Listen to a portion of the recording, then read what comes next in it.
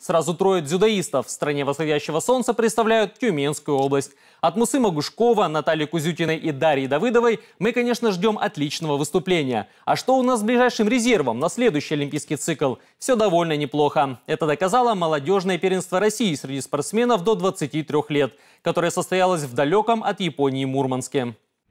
Важный смотр перспективных атлетов собрал более 400 человек. Команда Тюменской области вернулась домой не с пустыми руками. В категории до 48 килограммов лучшей стала Алина Сергеева. Уже довольно богатая коллекция ее наград пополнилась очередной медалью. У меня были, конечно, такие цели, у остальных, наверное, вера в это.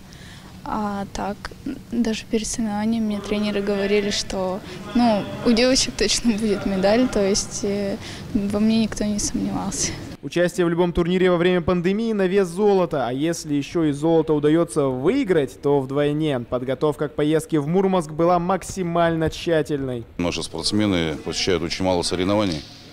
И нехватка соревновательного опыта, тренировочный процесс это одно, а соревновательного опыта нехватка. Ну, тем самым как бы подтвердила чемпионкой стала, выиграла.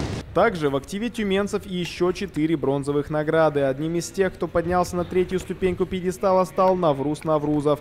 Он выступал в категории до 81 килограмма. Мне в этом плане всегда тяжело бывает, когда я проигрываю там где-то в полуфинале, там в 1-4 и за третье место выхожу. Психологически тяжело сюда настроиться. Но этот раз с тренерами переговорил, так, схваткой по душам, и все, и нормально настроился, и смог бронзу забрать.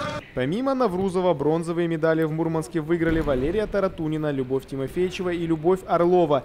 Пять наград с конкурентного турнира – хороший показатель. А где успехи на первенстве России, там и Олимпиада не за горами. Наглядные примеры у тюменцев есть. Остается только лишь работать до седьмого пота и как минимум до 2024 года. Я думаю, что да, 2024 год – это прям ну, пик мой. И надеюсь, конечно, на это и будем к этому стремиться. Конечно, есть с самого детства об этом мечтаю постоянно. Вот, только мысли об этом, только, ну, иначе не надо было заниматься, идти к этим, к этим путем.